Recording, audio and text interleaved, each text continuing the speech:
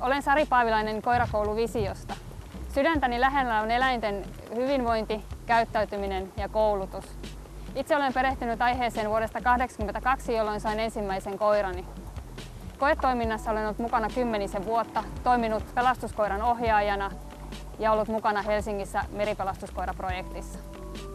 Käymme tällä DVDllä läpi jokaisen koiranomistajan tarvitsemia tietoja koiran koulutuksesta ja käyttäytymisestä. Käyttäytymiseen vaikuttaa oppiminen, johon perehdymme huolellisesti. Oppimismekanismin tunteminen on onnistuneen tapakasvatuksen ja koulutuksen perusta. Our goal is to gently form a dog's behavior.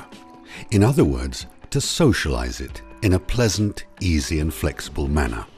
The recognition of signals reveals insight into the world of dog communication, and in familiarizing yourself with that world, you can also know more about how your dog's mind works.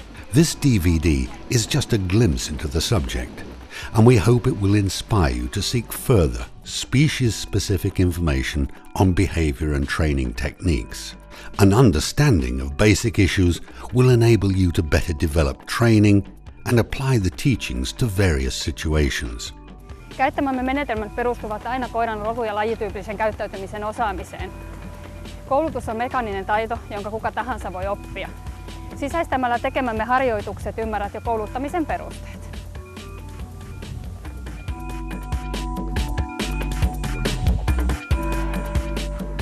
By adhering to rewarding mechanisms in training, you can in no way spoil your dog or jeopardize its training. Training will not always progress, but this does not affect your relationship with your dog in a negative way. It merely means that the learning process is slower. If at first you don't succeed, try, try again. The training process is a fun pastime with your dog.